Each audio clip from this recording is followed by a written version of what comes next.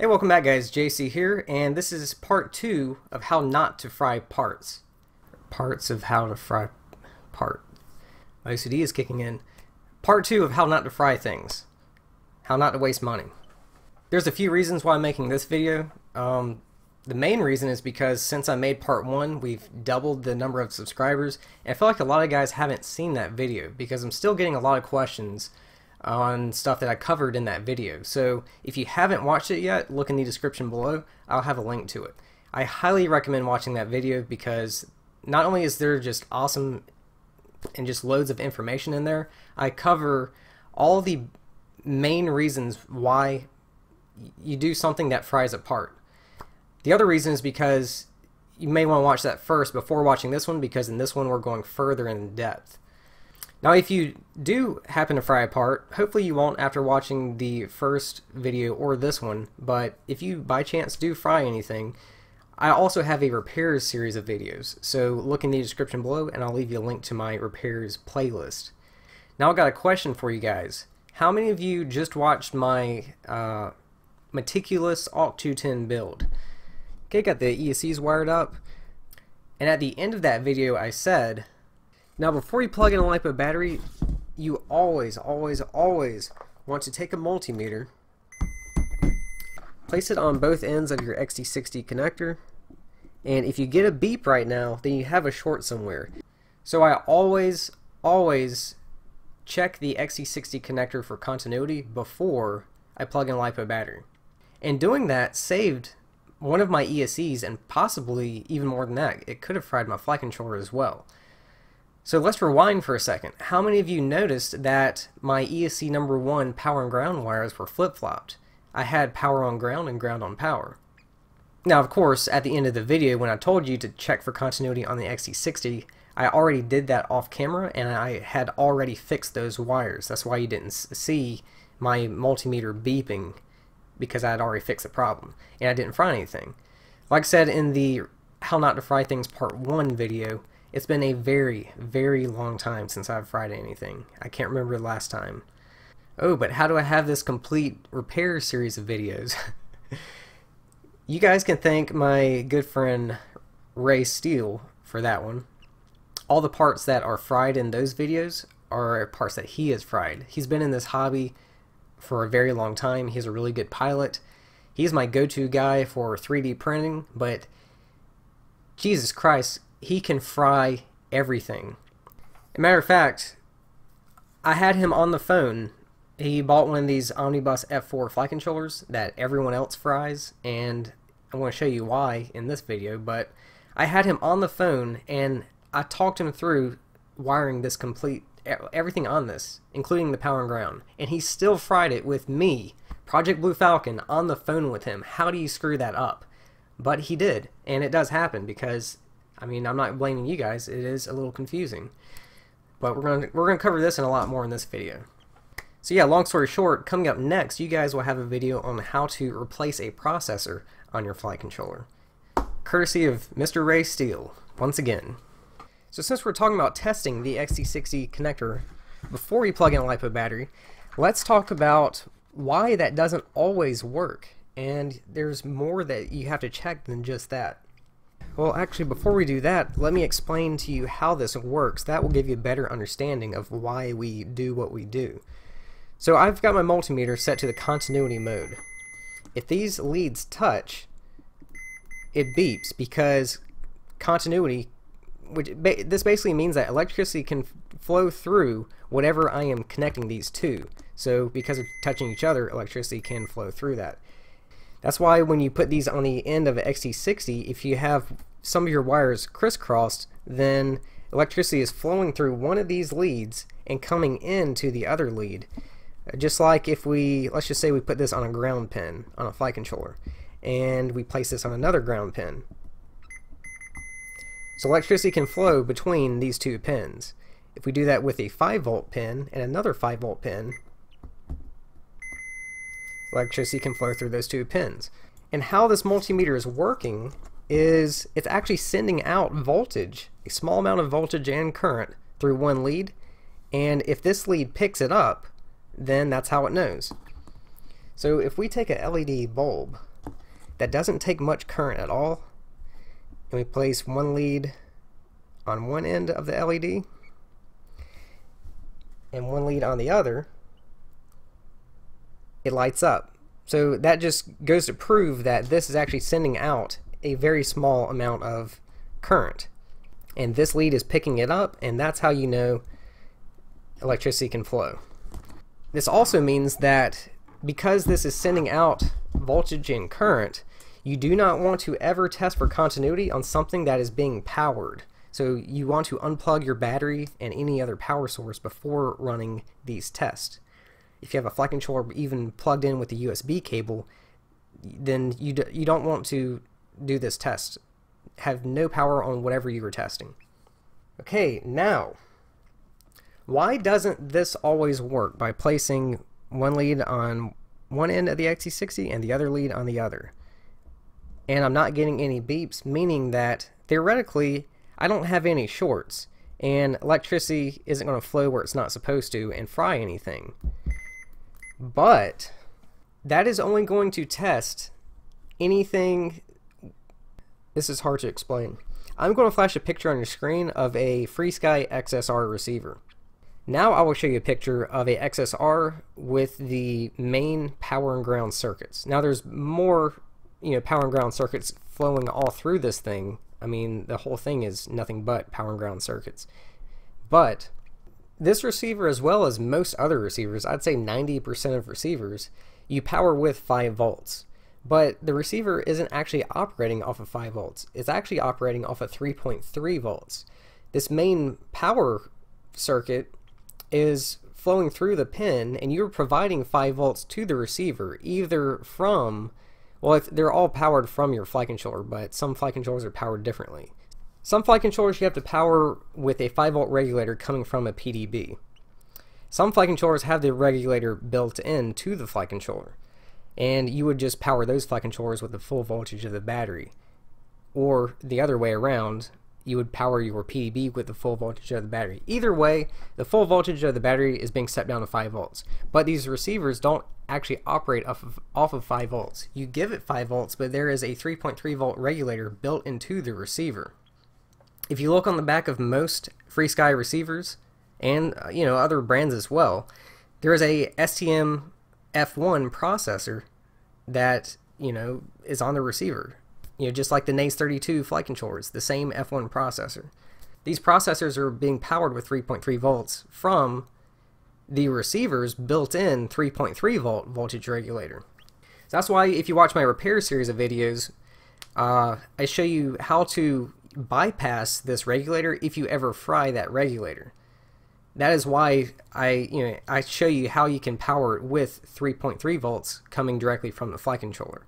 So that way you're bypassing it and your receiver is good to go. Now getting back on point, when you run this continuity test on the XT60 connector, you know, it's attempting to test everything, but what's going to happen is that current is going to flow through your uh, the XT60 and the PDB, and then go from the PDB to your flight controller, and then your receiver is being powered off the flight controller, so it's going to keep going until it gets to that 3.3 volt voltage regulator, and then that's where it stops. It can't make it past that regulator. So that regulator is is basically a dead end for that current to flow that's coming from your multimeter. And because that's a dead end, if you wire the power and ground wrong, you know, coming from your flight controller, say you have the ground wire on a power pin, a 5 volt pin on your flight controller, and then you have the, uh, you know, the other wire the other way around, either way it's a dead end. So that circuit is not complete. Therefore, your multimeter will not catch that mistake. And that is the long story of why testing the XT60 works on some things where and it's working on these circuits that do not have dead ends where the circuit for your receiver does have a dead end and it's not going to let you know if you have those wires on wrong. And wrapping up this topic before we move on to the next topic, just to prove it to you, before shooting this video, I'm getting no beeps, right? Just before this video, I actually took my top plate off and I flip-flopped the wires. I have power on ground and ground on power. We're not getting that beep. So that's just proof that that will not work in some situations. Now moving on to the next topic. Let's say you did correctly wire, let's just stay on the topic of receivers. And this applies to everything else, but uh, let's say you, you tell me you um, wire the receiver correctly, you do have power on power and ground on ground, but it's still fried. Or not even the receiver. Let's say you know you're not getting any lights from your receiver. That's that's a common one I get. I'm not getting any lights. Well, that means you're not getting any power, assuming you do have it wired correctly. Let's back up for a second. The first thing I need to explain, uh, like I said, some flight controllers have built-in voltage regulators, just like this uh, Seriously Dodo. It's got one right here. Also have other flight controllers like, um, you know, the Omnibus flight controllers. I'm just going to pull all these out real quick. So the Omnibus flight controller has a voltage regulator. The Seriously Pro Racing Mini right here. And there's a few others that have these voltage regulators, where some flight controllers, let's just take this X-Racer F303 for this example, does not have one. For those of you that use these types of flight controllers, you have to power these with 5 volts because one common problem that I'm seeing is uh, you just look at the wiring diagram and it says, well, this is a power pin and this is a ground pin, so I'm just going to run power from my PDB because that's what everyone's telling me to do. I got to run power from my PDB to one of these power pins, and then I run a ground from the PDB to the, one of these ground pins. And then you tell me that your flight controller is getting power, and you're getting the LED lights, but your receiver is not. You can power these flight controllers with the full voltage of the battery, and it will power itself because, like I said, uh, it doesn't matter if it's a STM F1, F3, F4 processor. These boards have a 3.3 volt voltage regulator on all of them. Somewhere on the board there's a regulator. And that regulator is taking the full voltage of the battery, stepping it down to 3.3 volts, and that is what is powering the processor. And then the processor is you know sending what it has to send to make your LEDs like your status LED blink. So you will get your LEDs blinking and some of them will just stay solid and it's going to, you know, seem like it's fine and it is fine. But if you have the full voltage of the battery going on one pin on one power pin, then it's going to be the full voltage on all the power pins. And even though it says 5 volts on, you know, somewhere on the board, that's just that's telling you to put 5 volts on that pin. It doesn't mean that 5 volts is coming out of that pin unless you have 5 volts on it. So if your receiver is wired into this, even though some of these voltage regulators can handle the full voltage of the battery and give the processor the 3.3 volts that it needs, this doesn't mean that your receiver regulator can handle the full voltage of the battery because that's what's being sent to it. And that is usually what fries your receiver, assuming you had the wiring correct with power on power and ground on ground. Because, you know, if those wires are flip-flopped, it's going to fry. If you send the full voltage of the battery to the receiver, it's going to fry. So that's just two different ways of frying a receiver. And like I said, I'm just using receivers for this example, but this applies to everything. Doesn't matter if it's your LED lights, doesn't matter if it's your buzzer. Well, actually, buzzers you can use backwards, but that's besides the point. So ending this topic, to wrap it up, sum it up, make sure you have the correct voltage going everywhere where you need it to be. The correct voltage to the flight controller, correct voltage to your receiver, correct voltage to your video transmitters, cameras, I mean everything. Because I've seen some guys take a video transmitter and wire it into, you know, they, they will send the full voltage of the battery to the, the video transmitter. Some transmitters can handle that. Some are rated for, you know, I'd say most commonly 20 volts, and some can go up to, you know, 32, 36 volts. But some of them can only be powered with 12 volts. And it's just like cameras almost all cameras can operate on 5 volts, but most of them have a range. It'll be 5 volts to 10 volts, 5 volts to 16 volts, or 5 to 20, 5 to 30. But some cameras can only be powered with 5 volts. So no matter what parts you're using, camera and video transmitter, find out what your voltage range is and make sure you're within that range. Okay, now let's talk about overloading voltage regulators, which is another thing that is with the omnibus flight controllers. I swear to God, so many people fry those things. You know what, before we even move on to that subject, let's quickly touch this subject. I'm going to flash a picture on your screen because I know it's really hard for you guys to see, but this is how my buddy Ray fried this omnibus, and this is how most guys fry their omnibuses as well. They can't find a wiring diagram. Some places where you order these things, they don't give you a wiring diagram, and there are wiring diagrams online, but some people are, you know, I'm not going to say lazy, but they don't look for it. So they just go by what's written on the backside of the board. Now I'm going to circle the VBAT pin for you, or at least where it's it says VBAT. So you see where it says VBAT? Now tell me, is this referring to the pin above it or the pin below it? Most guys assume that this VBAT is a, is referring to the pin below it. But that's incorrect because if you look at the very top pin, there's nothing written above it, but it has 5 volts written below it. Therefore, the text, what's written on the backside of the board, is referring to the pin above it. So if you wire your the the full voltage of the battery coming from your PDB to the pin below VBAT, that is actually your current pin. And once you plug in the battery with the full voltage going to your current pin, which is a signal pin, not a power pin, that will fry your processor. And that's why I'm going to be replacing the processor on this flight controller coming up next, because that's exactly what my friend Ray did. So just to add in to what we've covered so far, which is uh, don't always trust the XT60 continuity test and check everything by eye. Also, make sure you have the correct amount of voltage going everywhere, but here, this is a fine example of make sure the voltage, not only is it the correct amount, but it is going to the correct pin, because sometimes in this case, the text on the back of this board can be misleading. Okay, now we can go into overloading voltage regulators because that is yet another problem that is very common with these omnibus flight controllers. Not just these, but you know any other flight controller. This flight controller has a built-in 1.5 amp voltage regulator.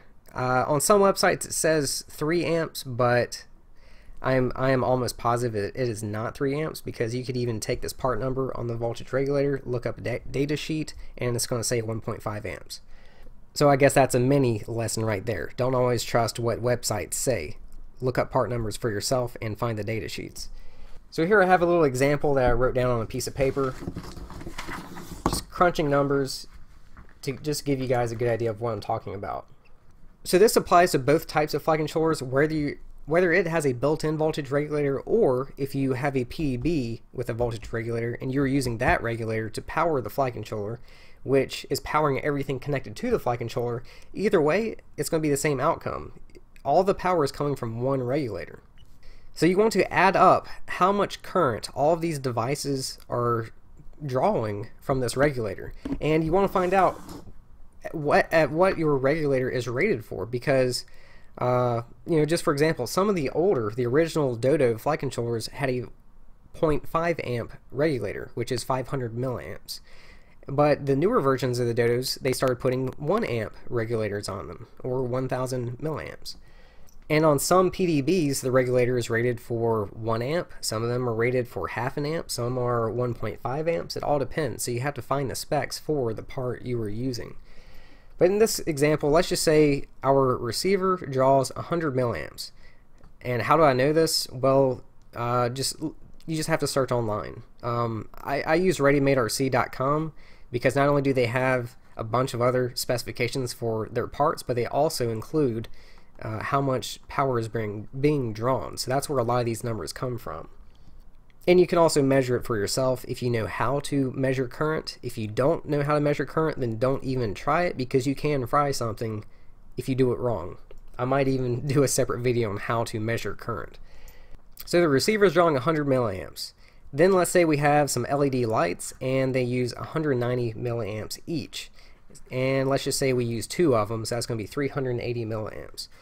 Then uh, I, I do not, I am including this into this example just to tell you don't do it. Do not power your camera or video transmitter off of your flight controller. You can power them off of a regulator on a PDB because they're usually rated at much higher.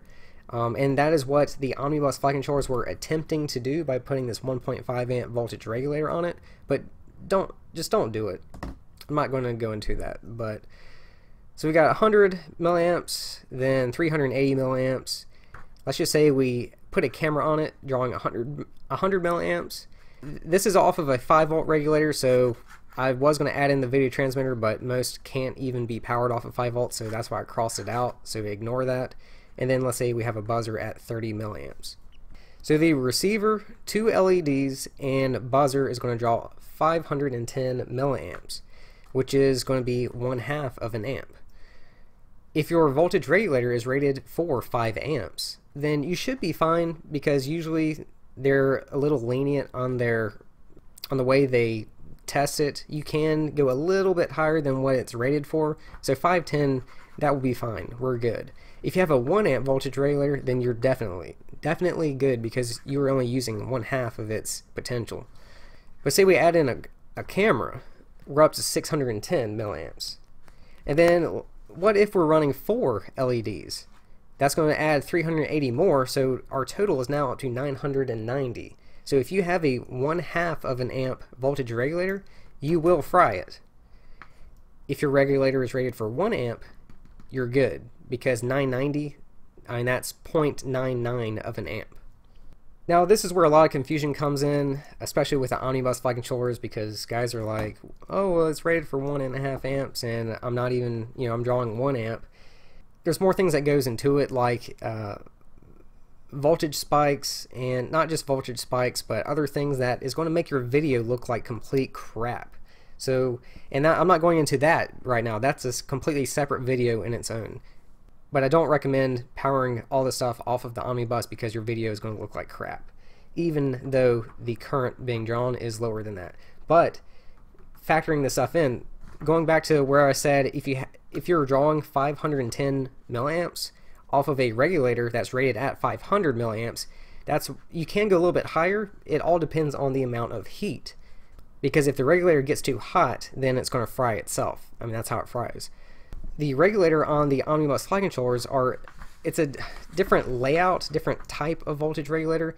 The backside of this is one giant heat sink. This one isn't so bad, but the F3 Omnibus flight controllers, and I think even the F4 Pro, this regulator is right in the middle. Also, right in the middle is your processor. So this heat sink, this is creating a lot of heat, especially the more current being drawn from it. With all this heat, coming from this voltage regulator and the processor right on the other side, this damages your processor. And that's how guys, that's just one more reason of how guys are frying their Omnibus flight controllers. That's why I say, do not, do not, do not power your camera and video transmitter off of this flight controller because you're creating so much heat. And then something that I just want to say about all parts, not just the Omnibus. It is really bad about the Omnibus, but all parts I've seen so many guys fry so many things and then blame it on the part.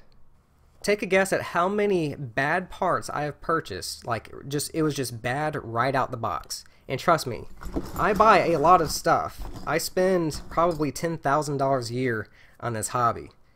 And in my lifetime, how many bad parts have I received that was just bad right out the box? Four. It's happened to me four times. And two of those times were Naze 32 uh, controllers way back in the day. Those things suck. I hate them so much. Four times. So when someone tells me that, um, JC, you recommended me these ESCs, and three of them fried as soon as I plugged in my LiPo battery. These things are junk. They're crap. Because three out of my four ESCs fried. I'm like, well, did you do everything right? Yeah, I wired everything right. What am I, dummy? I don't say this to you viewers, but what I'm thinking in my head is, well, it's kind of weird how I'm using that same part. I have 20 of that same ESCs, not one is fried. Not only that, but in my entire time in this hobby, I have only purchased four bad parts right out the box out of thousands and thousands and thousands of dollars. So I find it really hard to believe that three of your four ESCs were bad right out the box.